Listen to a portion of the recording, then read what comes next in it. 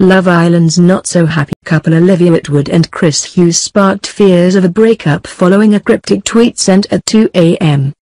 And it has now been revealed that the pair had an explosive row at a nightclub. They had been at the club for Chris and Kem Cetinay's performance of their single, Little Bit Leave It. It has been reported by The Sun Online that the furious argument came about after Olivia was left fuming by the amount of attention Chris had been receiving. She was later spotted in a cab home looking sad and wiping away the tears. Chris, meanwhile, stayed at the Ministry of Sound drinking and chatting with fans. The couple have seen their relationship navigate some choppy waters since coming third on Love Island back in August, with allegations of splits and assurements of convenience to cash in on endorsement deals. And now Liv has thrown the cat among the pigeons again with a cryptic, and since deleted, tweet.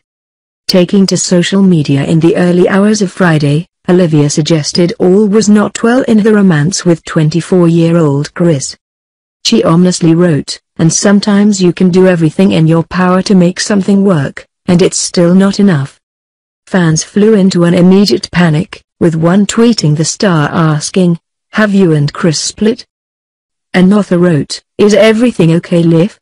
While a third put, what has happened are you and Chris okay? However Olivia didn't respond to the speculation, and ultimately deleted her message. The tweet came at an otherwise seemingly happy evening as Liv joined Chris and their Love Island co-stars Cetinay and Amber Davies for a night out. The ladies sat VIP as they watched their boys rapping on stage in front of an impressive crowd. Chris showed no sign of upset when he took to Twitter himself following his gig, writing, Highlight of my life tonight. Thank you everyone throughout. Best feeling my parents being there to support. I hope I make you proud X.